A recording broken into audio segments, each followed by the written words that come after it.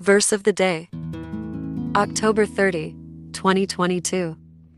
And I will put enmity between thee and the woman, and between thy seed and her seed. It shall bruise thy head, and thou shalt bruise his heel. Genesis chapter 3, verse 15.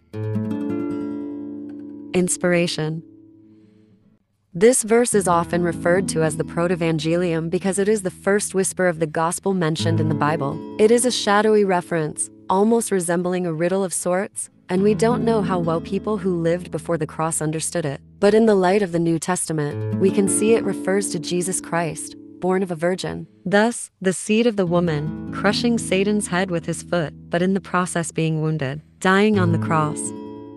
Let us pray.